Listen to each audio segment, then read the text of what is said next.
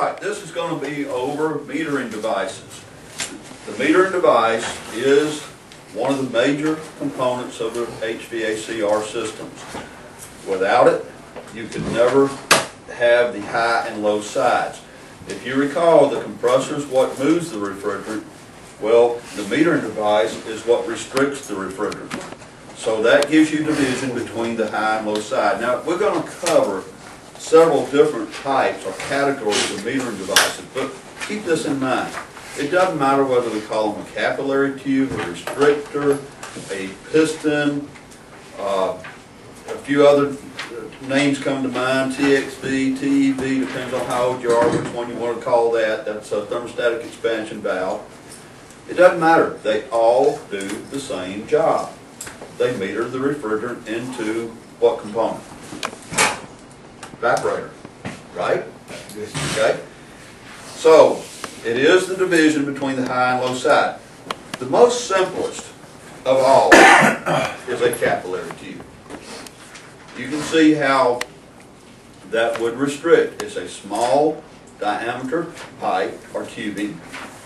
It's what, what determines how much refrigerant that it will meter depends mainly upon the high and low pressures, the pressure differential that is, the length of the capillary tube, the inside diameter of the capillary tube, how many turns there are in the capillary tube, and one more thing that most people don't realize, and that's the temperature of the capillary tube.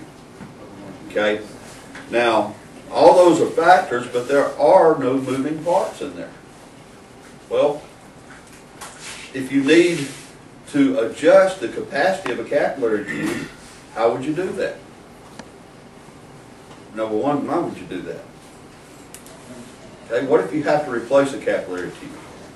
Then you need to make sure that you get the right diameter. You need to make sure that you get the uh, right length and the right uh, turns, if so called for, in that particular one. But that means that you may actually have to cut that new capillary tube. If you take a tubing cutter and try to cut this, you're going to crimp it down and you're going to affect the size of the inside diameter. So the correct way to cut a capillary tube is to take a file,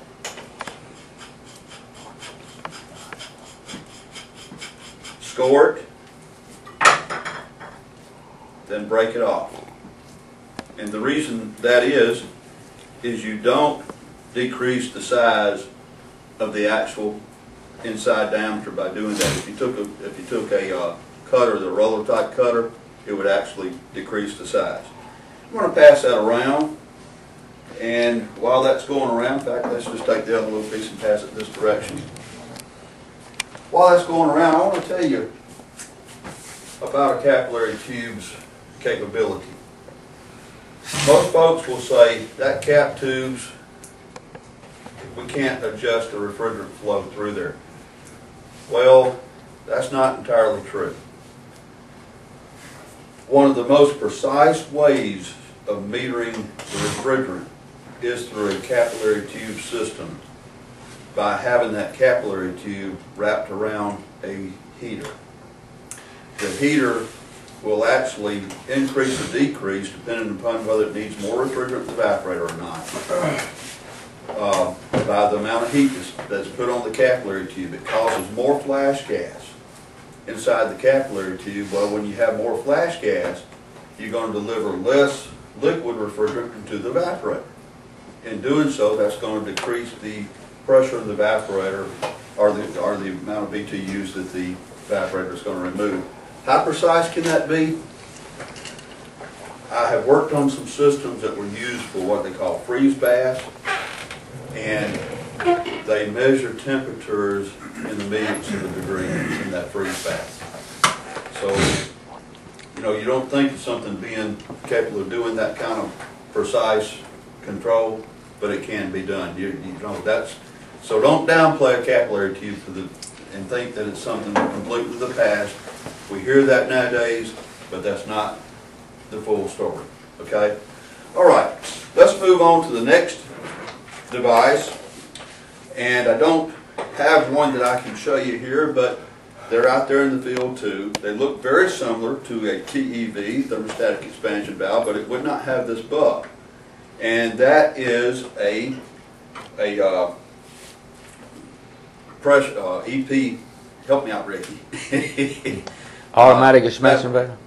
Uh, automatic expansion valve. Mhm. It's also known as an atmospheric expansion valve because it depends upon the pressure outside the valve on the top of the diaphragm to help determine how much refrigerant to feed into the evaporator. Its main control though is the evaporator pressure. The evaporator pr- pressure goes down, it feeds more refrigerant into it. The evaporator pressure goes up, feeds less refrigerant. Now, they're good in some applications where the load's fairly constant. Here's the problem. I want you to think about this. If the load on the evaporator becomes large, what's the pressure going to do inside the evaporator? Go up. It's going to go up. What's the automatic expansion valve going to do? It's going to decrease the amount of refrigerant that's going into it. So what's going to happen? Pretty soon it's going to, the going to drop back down, but by that time, it's going behind what's actually needed. So it's a seesaw, a very bad seesaw, if you have a fluctuating load. That's one of the disadvantages of an automatic expansion valve. It will catch up, but it is not real good for quick changes. Okay. Again, I don't want to downplay and say that's a bad metering device. It has its application, okay? Um, let's go to TXVs, which is probably the most common that you're going to see out there today. The TXV uses both the suction pressure or evaporator pressure. It also uses the bulb pressure. The bulb is measuring the temperature on the suction line or the exit of the evaporator. It's measuring this temperature, okay? The pressure's being measured that goes into the, the uh, evaporator. Is comparing the two along with the spring pressure inside here. And it is throttling the amount of refrigerant that goes into the evaporator on the basis of superheat. Okay? Y'all remember superheat. Superheat goes down, then, now remember, superheat goes down, that means I'm getting to the point where I may be having liquid coming back or getting close, then this is gonna decrease the amount of refrigerant that's going into the evaporator.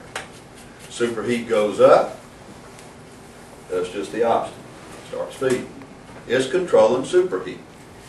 We call them thermostatic expansion valves, but that's probably not the best description of it. A better description would be called a superheat valve. But that's not what they're called, okay? Now, I want to take a look at the internal parts. Some you can take apart, some you cannot.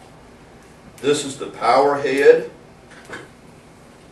This is what, this bulb right here measures the temperature. It has refrigerant in it and controls the pressure on the top side of the diaphragm right here. Okay?